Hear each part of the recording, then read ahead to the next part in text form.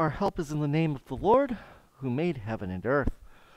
Glory be to the Father, and to the Son, and to the Holy Spirit, as it was in the beginning, is now, and ever shall be, world without end. Amen. My dear brothers and sisters in Christ, today we celebrate the solemnity of the Holy Mother of the Rosary. This solemnity uh, came to be after the 16th century. First of all, a little history. Um, before the year of 1206, the rosary didn't exist.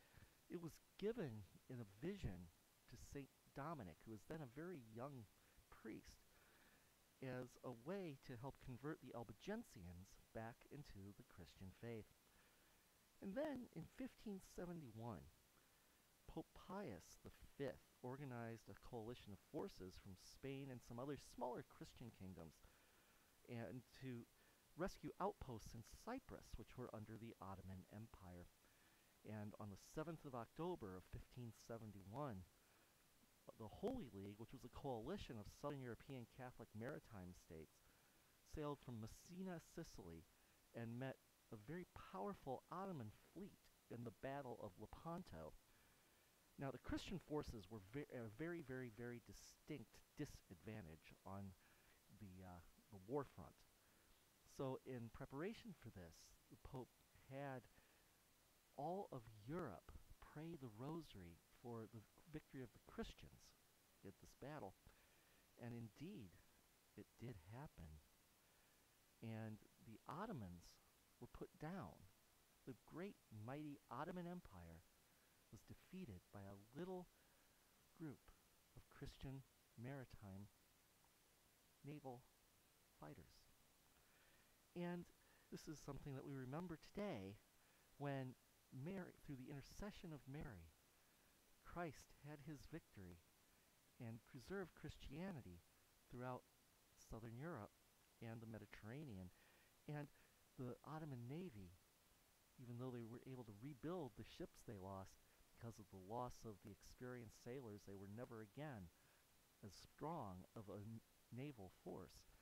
So today we remember the Holy Mother of the Rosary and the Christian victory at the Battle of Lepanto in 1571. And so let us begin in the name of the Father, and of the Son, and of the Holy Spirit. Amen. Lord, bless us with the wisdom to praise you in spirit and in truth, so that by following your holy will we may gain eternal salvation. Amen. My dear brothers and sisters, let us take a moment, confess our sins to God in ways that we have failed him and our neighbor in thought, word, deed, and omission, so that we may worthily participate in this holy sacrifice. Please now make an examination of your conscience.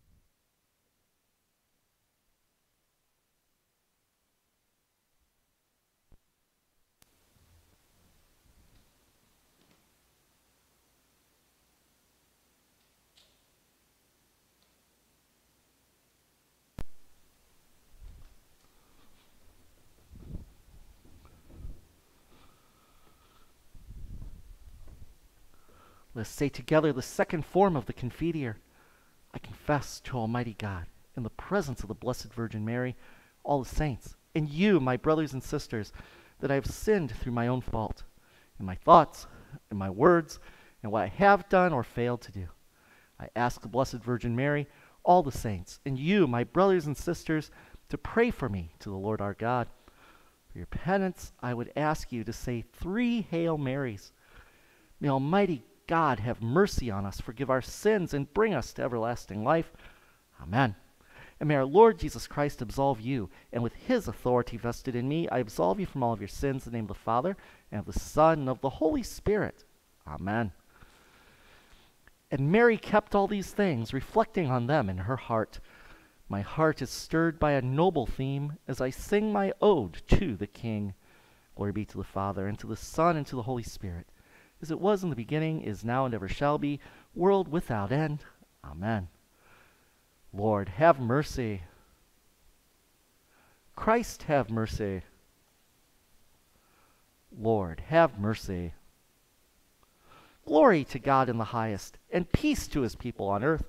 Lord God, heavenly King, almighty God and Father, we worship you. We give you thanks. We praise you for your glory. Lord Jesus Christ, only Son of the Father, Lord God, Lamb of God, you take away the sins of the world. Have mercy on us. You are seated at the right hand of the Father. Receive our prayer. For you alone are the Holy One. You alone are the Lord. You alone are the Most High, Jesus Christ, with the Holy Spirit, in the glory of God the Father. Amen. The Lord be with you.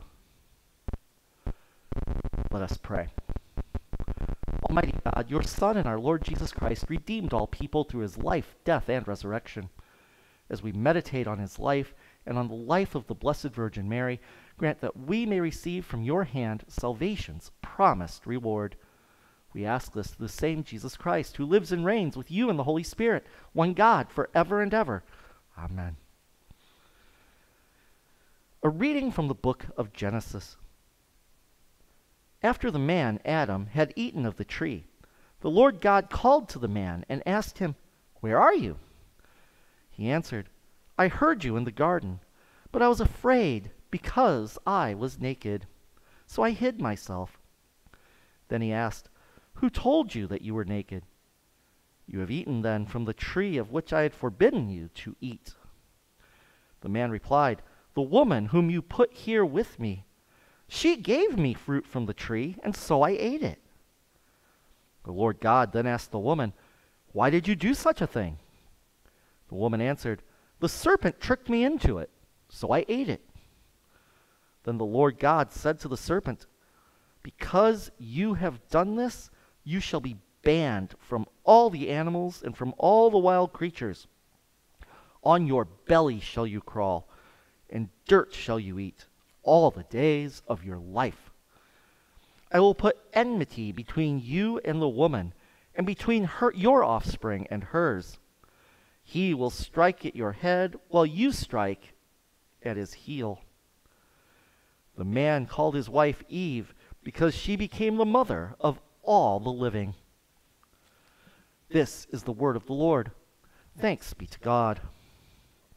Our response is the Almighty has done great things for me, and holy is his name. The Almighty has done great things for me, and holy is his name. My soul proclaims the greatness of the Lord. My spirit rejoices in God my Savior. The Almighty has done great things for me. Holy is his name. For he has looked upon his lowly servant. From this day all generations will call me blessed. The Almighty has done great things for me, and holy is his name. The Almighty has done great things for me, and holy is his name. He has mercy on those who fear him in every generation. He has shown the strength of his arm. He has scattered the proud in their conceit. The Almighty has done great things for me. Holy is his name. He has cast down the mighty from their thrones and has lifted up the lowly. He has filled the hungry with good things, and the rich he has sent away empty. The Lord Almighty has done great things for me, and holy is his name.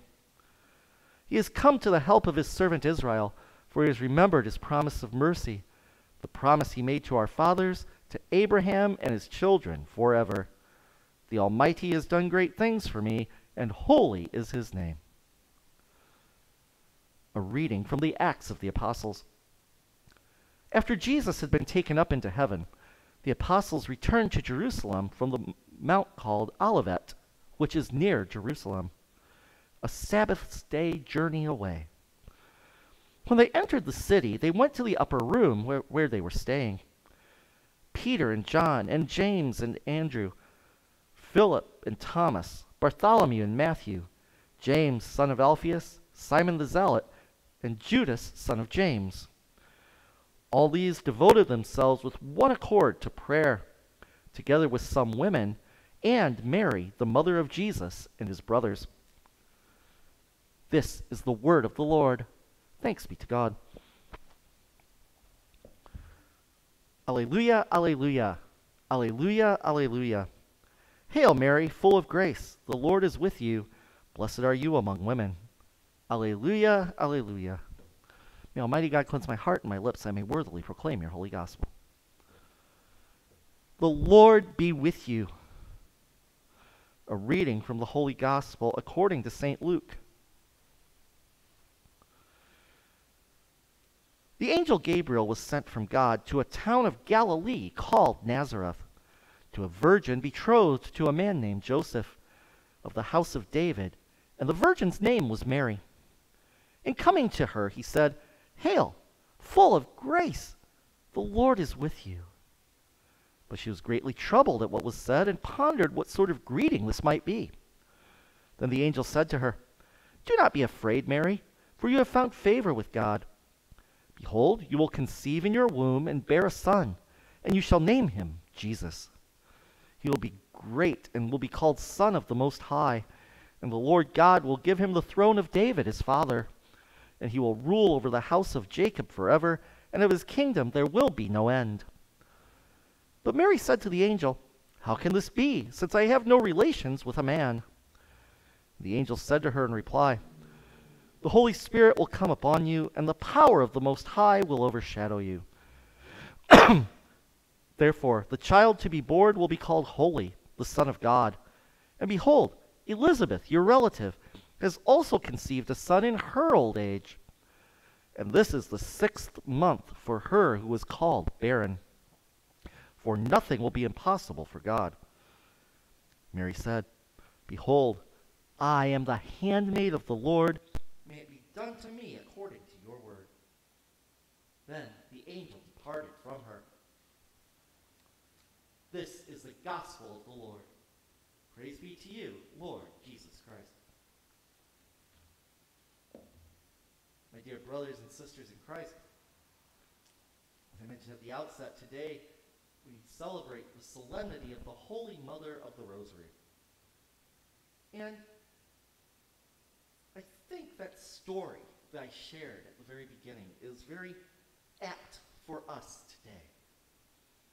Because just as at that time, the Christian forces seemed to be at the mercy, at the mercy of those to destroy her, to destroy Christianity, to destroy the church.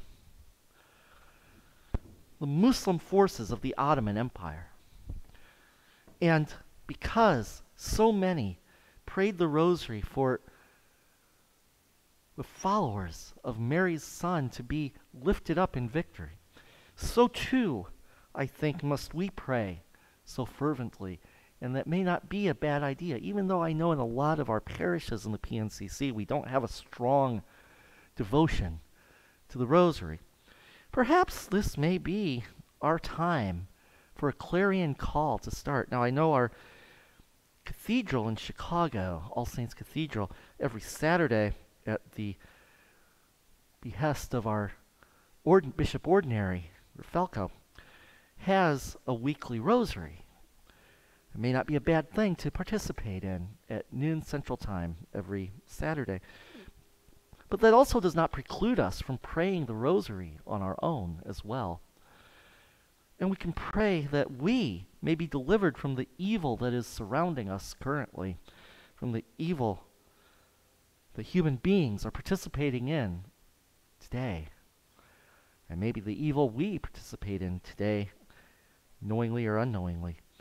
Because the more we pray, the closer we are to the Holy Mother of God, closer we will be to God. Isn't that a beautiful thing? Because ultimately, don't we want to do good and avoid evil? Isn't it that basic? But isn't that difficult as well? So perhaps we could consider putting the rosary into our prayer ritual regimen once a week, twice a week, however often you would wish. Because, hey, let's face it, a little more prayer never hurt anyone, did it? And especially when we call on the mother of Jesus, who carried him in her womb for nine months, suffered at his death, rejoiced at his resurrection, and prayed with the disciples, the apostles, after the ascension. Think she wouldn't help us? In the name of the Father, of the Son, of the Holy Spirit. Amen.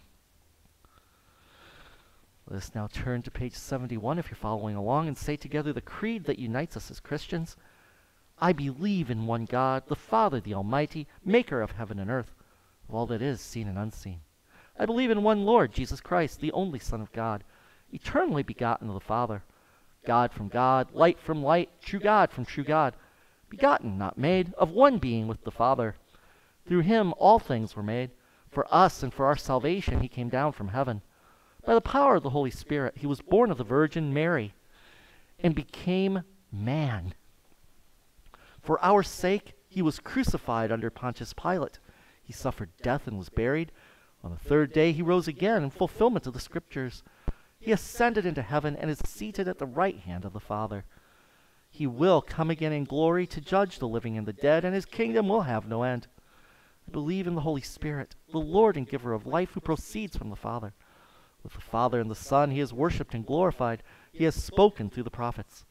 I believe in one holy Catholic and Apostolic Church. I acknowledge one baptism for the forgiveness of sins. I look for the resurrection of the dead and the life of the world to come. Amen. The Lord be with you. We approach the God of life with complete confidence that he hears and answers our prayers. Our response is, Lord, hear our prayer for the church, the mystical body of Christ, that she may grow and prosper in the Lord's saving work with the help of Mary, the Mother of God. We pray to the Lord, Lord, hear our prayer. That truth, justice, and a love for the gospel of life may inspire all those in public office. We pray to the Lord, Lord, hear our prayer. For our families, they may be filled with the graces that flow from marriage and parenthood and become true sanctuaries of life we pray to the Lord, Lord, hear our prayer. For those suffering in body, mind, or spirit, especially those on our parish prayer list, that they may find consolation through Christ's healing presence, we pray to the Lord, Lord, hear our prayer. For each of us here, that we may embrace Mary through the Holy Rosary and desire to imitate her example of love and faithfulness to God, we pray to the Lord, Lord, hear our prayer for all the intentions we hold deep in the silence of our hearts.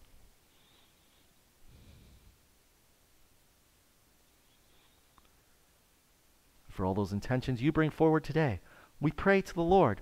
Lord, hear our prayer. For all of our beloved dead and those who will die today, that they may find rest in the eternal presence of God, we pray to the Lord. Lord, hear our prayer. God, our Creator, you have given us salvation. May our prayers and strivings be acceptable as we await your coming. We ask this through the intercession of the Blessed Virgin Mary, through your Son, Jesus Christ, who lives and reigns with you and the Holy Spirit, one God, forever and ever. Amen. My soul proclaims the greatness of the Lord. My spirit rejoices in God my Savior, for he has looked on his handmaid's lowliness. Behold, from now on all generations will call me blessed.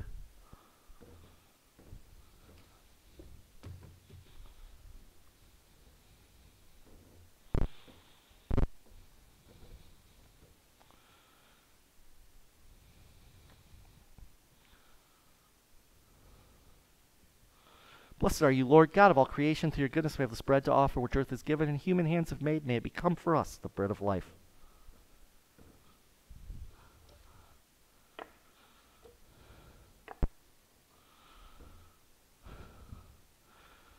By the mystery of this wine and water, may we come to share in the divinity of Christ, who humbled himself to share in our humanity.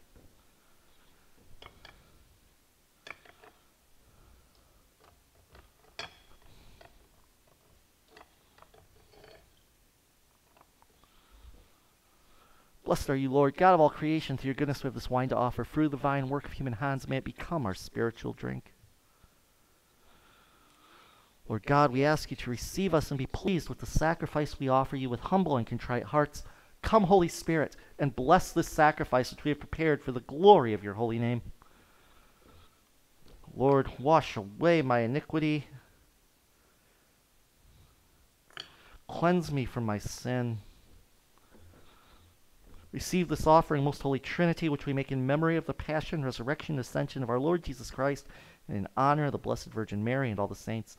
May they whose memory we honor on earth intercede for us in heaven. Pray, my brothers and sisters, that our sacrifice may be acceptable to God, the Almighty Father. May the Lord accept this sacrifice from my hands for the praise and glory of his name, for our good and for the benefit of his holy church. Loving Father, may our gifts be found worthy in your sight, and may the prayers we offer bring to mind the life of your Son and his most precious Mother, Mary. We ask this through the same Jesus Christ, who lives and reigns with you in the Holy Spirit, one God, forever and ever. Amen. The Lord be with you. Lift up your hearts. Let us give thanks to the Lord our God. Father, all powerful and ever living God, we do well always and everywhere to give you thanks through Jesus Christ our Lord. We desire, in honoring the blessed ever Virgin Mary, to praise you, bless you, and worship you.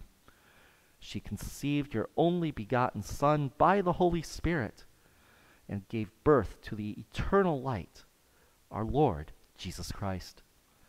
Therefore, with the angels and archangels, with all the saints in the entire church, we lift our hymn of praise to your glory, repeating unceasingly, Holy, holy, holy Lord, God of power and might. Heaven and earth are full of your glory. Hosanna in the highest.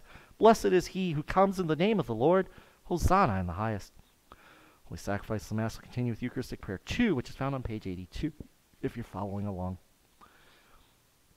We have thanks to you, God our Father, through your beloved Son, Jesus Christ, whom in these last days you have sent us as Savior, Redeemer, and messenger of your will.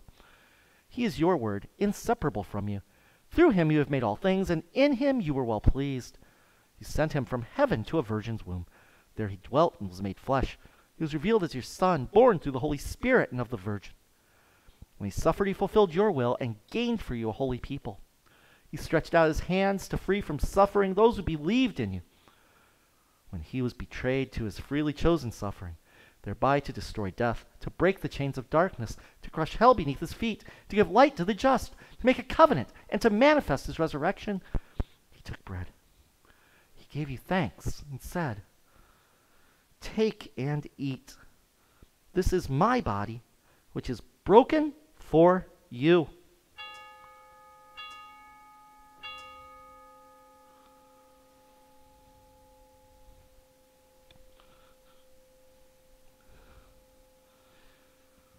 Like manner, he took the cup and said, This is my blood, which is poured out for you. Whenever you do this, do it in memory of me.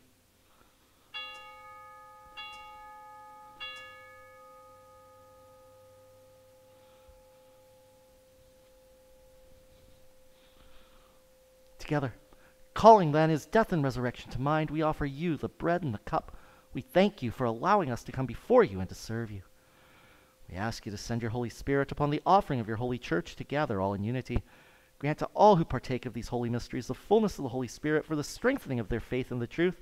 So may we praise and glorify you through your Son, Jesus Christ.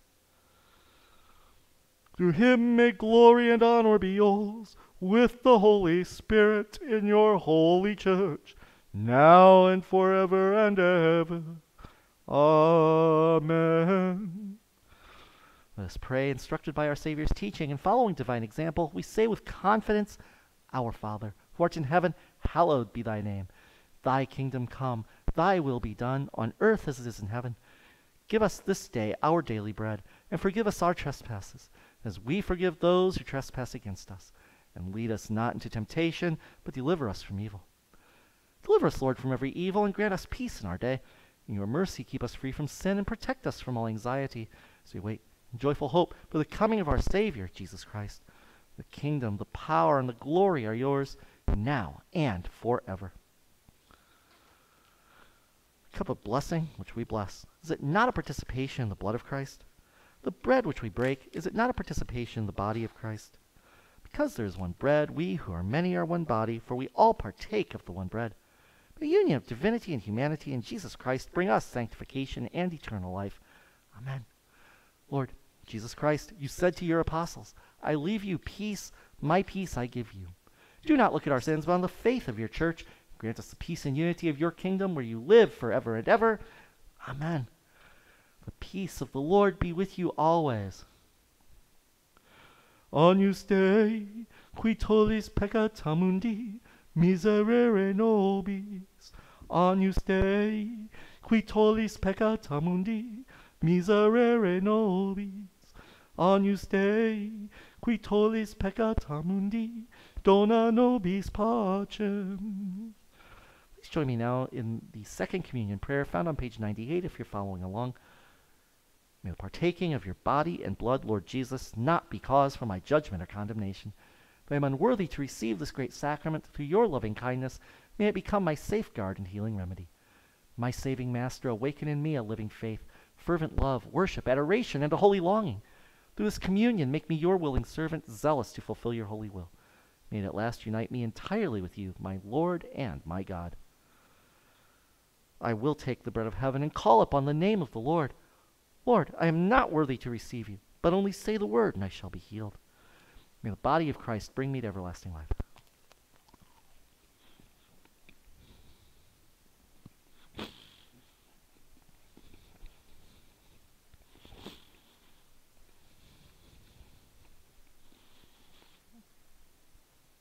May the blood of Christ bring me to everlasting life.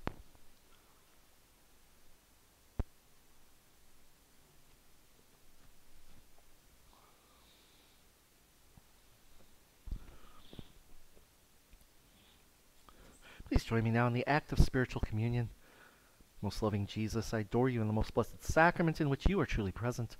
I love you above all things, and I long for you in my soul. Since I cannot receive you sacramentally, I ask you to come spiritually into my heart and heal my soul. I embrace you. I unite myself with you. May I never be separated from you. Inflame my heart with the fire of your love, my Lord and Savior. Amen.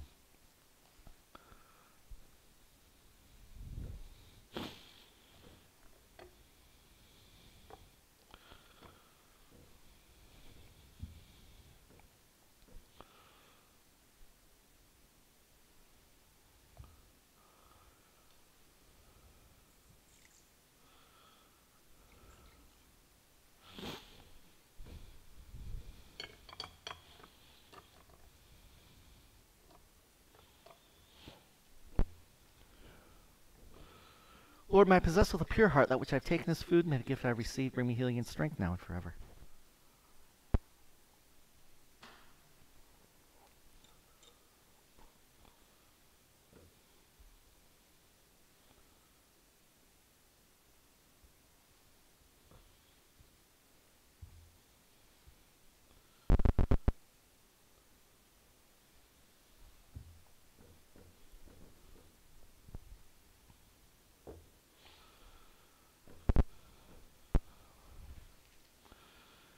Now, with full joy of heart, proclaim and bless the name of the Holy One.